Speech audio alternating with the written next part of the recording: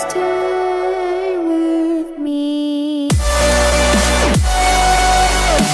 going on, you guys? I got some more Resident Evil 4 with Jake, myself, for you guys today. We uh just got through the village in the last part, so we're gonna go ahead and jump right back into the thick of it. Um, First things first in this video, these medallions, shoot them. When you see them, shoot them. They are important. And here is exactly why. I will read this one note for you.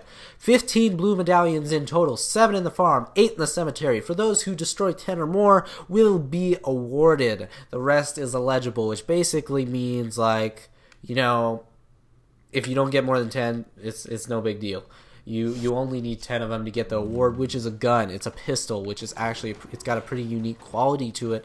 So uh, once we get that, I'll go more into that for you guys. But uh, so you want to shoot the the medallion. I'm going to show you where all of them are in this part, just in case you want to get all of them. If you're like completionist, like I am some of the time. Um, but it's it's it's kind of it's it's um it's a hit or miss with me on uh, completion. Um, uh, right here, there's a pearl pendant that can get you some money, but if you shoot it right here, you're going to drop it in here and it's going to get all dirty, so what you want to do is shoot that first, and then you'll get it all nice and clean, which will in turn give you more money for it, which is good for you, because, you know, when you're trying to buy rocket launchers or, or health or ammo or anything like that, or you can't buy ammo, I'm sorry, when you're trying to buy weapons and stuff like that, the more money the better. Oh man, I am I am tired. I have super I have a very very high amount of energy today, but I am also very tired. I'm gonna go ahead and oh this is a gold chicken egg. You do not want to use those. You want to sell those. Those are worth money. Um, there's a second blue medallion right here, and then there's a third one right in this room. As soon as you come in here, you want to aim up and shoot this one right here. Um, I'm sorry if I sound all like my nose is really stuffed up because I'm getting kind of like a cough. Um, but so if that's annoying you guys, I, I do apologize. Um, okay, something I want to go into is uh, the red, green, and uh, yellow herbs, the importance of each one. The only one that can actually give you health on its own is the green herb. But if you mix them all together, and I'm not going to do it right now. I'm going to use this for some health. But uh, if you take them all together, not only does it refill your health completely, but it also makes your health meter, makes it go up a little bit, and that is super, super helpful. Another thing I want to touch up on that I actually didn't do in my last video, I'm still trying to get the hang of this game again, is every time you finish a difficult area or something like that, reload all your weapons. Go into your inventory and make sure every one of your weapons is reloaded because... Um, in situations like with that chainsaw guy, you saw that I kept pausing and switching to my shotgun very instantly, and then you know taking him out and then switching back to my pistol. That's something that's really helpful in this game. Is when you got your pistol out, say somebody's about to come up on you, you just gotta pause it, switch to your shotgun, and then boom. You know, it's super quick. It's super helpful. Not as uh helpful as you know like the instant switching they have in most games but it is definitely helpful. So make sure all your guns are always reloaded just in case of those rare occasions where you might need your shotgun or something like that. So we're gonna go ahead and take this guy out. My Twitter is blowing up apparently and then you want to look straight up into the third or no that's the fourth medallion in this area. So we're gonna take that one out and then there's a dude right here. Um, he almost got me but uh, he didn't so fail for him Oh, I cannot shoot today. So, right, um, normally you do not want to do what I'm doing. You do not want to be just shooting all your bullets into these guys. You want to, oh jeez, I knew that was going to hit me and I didn't even do anything about it.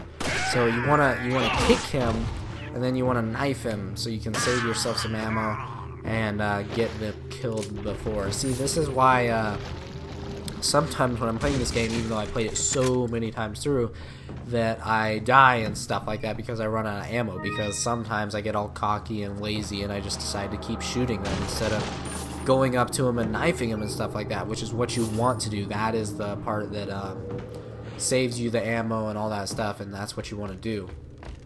So right here we got a guy hiding up here. He never notices me until I get up here for some reason.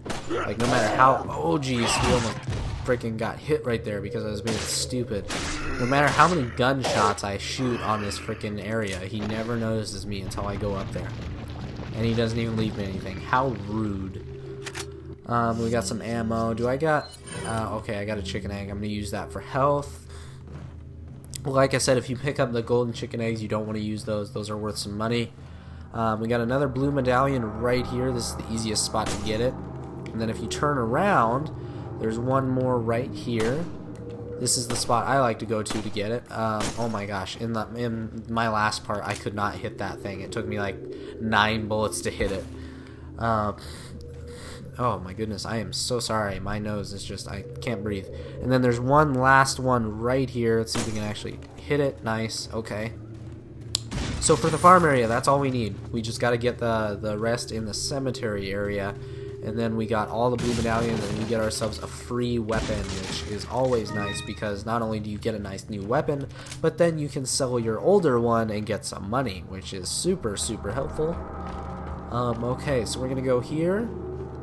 And then we're gonna jump down just to the left right here and get behind this fence which as you can see normally you would not be able to do. Then we want to break this box and get a beer stein.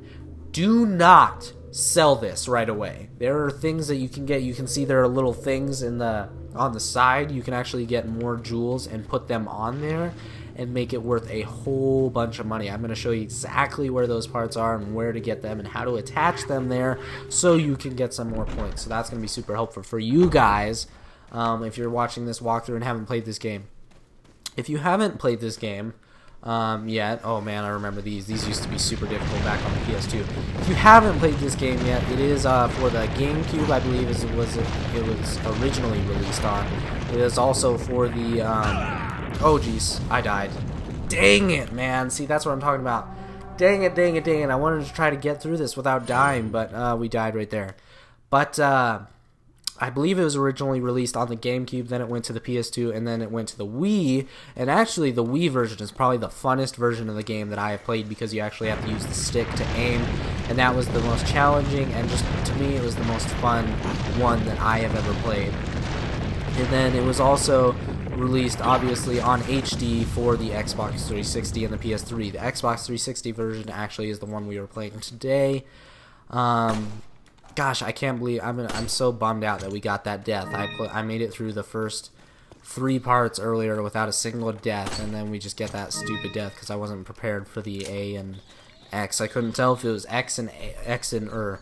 I couldn't tell if it was A and X or A and B. Like, uh, it's been so long since I played this. So we're gonna hopefully do that. Hopefully this guy right over here won't kill me. I'm hoping I can get him. Alright, let's go ahead and take him out. Come on, you fall. Thank you. They light the dynamite, and sometimes they don't uh, explode right away. And they might have to just wait a while, but uh, it's best to try to aim for their uh, hands that are holding the dynamite, and that's what you can take them out with, like this guy. Oh, jeez.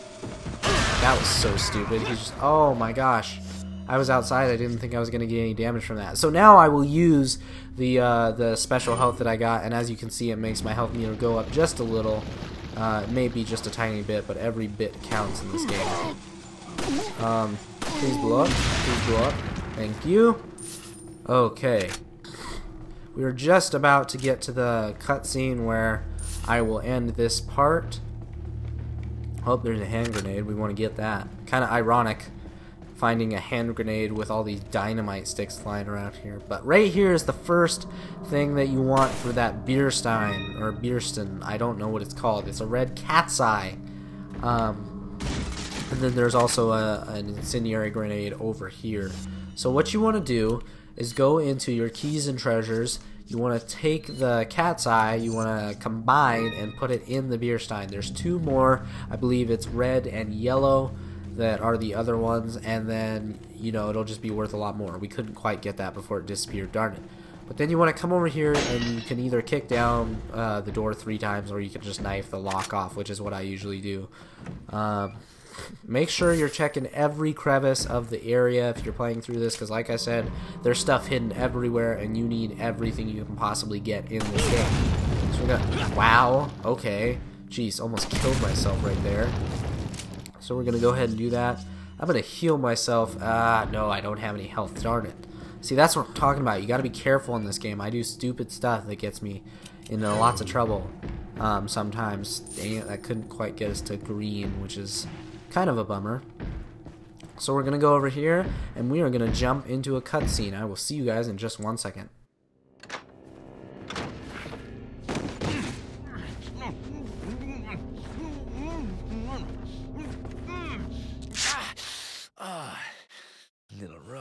Think? You're not like them? No. You? Okay, I have only one very important question. You got a smoke? Got gum. Perfect. The big cheese. What?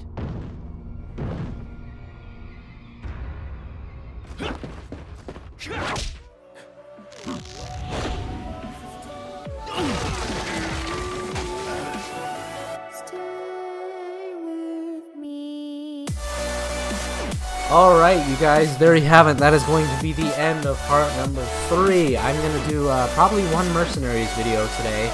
Um, but other than that, that's going to be it for probably today. Hopefully you guys enjoyed. Please like that video. If you please hit that like button. Hit it, hit it, hit it. Hit that like button if you enjoyed this video. Please subscribe for some more and tell your friends about the Grub Army.